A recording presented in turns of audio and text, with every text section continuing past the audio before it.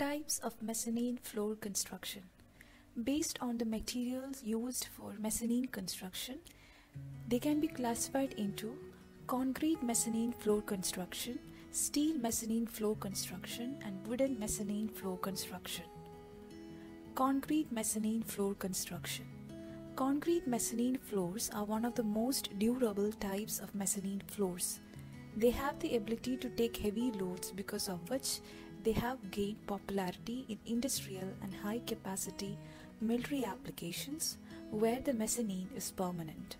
Some of the benefits of concrete mezzanine floors are minimal noise transmission through the floor deck, increases fire resistance, low cost maintenance, increases damp resistance, construction is fast with increased stiffness, the high thermal mass of concrete floors lowers the energy demand for thermal comfort.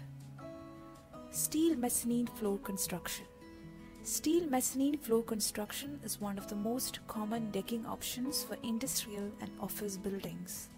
Its design provides solid and secure resistance to foot traffic. The benefits of steel mezzanine floors are enhances strength, high moisture resistance, economic construction, low maintenance, high strength and durability. Wooden mezzanine floor construction. Wooden mezzanine floors are performed to provide an elegant look to the space. They add beauty and warmth to the building area and are an excellent choice for office space or retail store environment. The important benefits of wooden mezzanine floors are good strength and durability. Treated hardwood for mezzanine floors lasts for years. Carry heavy foot traffic and active workspaces. Easy installation. Can be cleaned easily.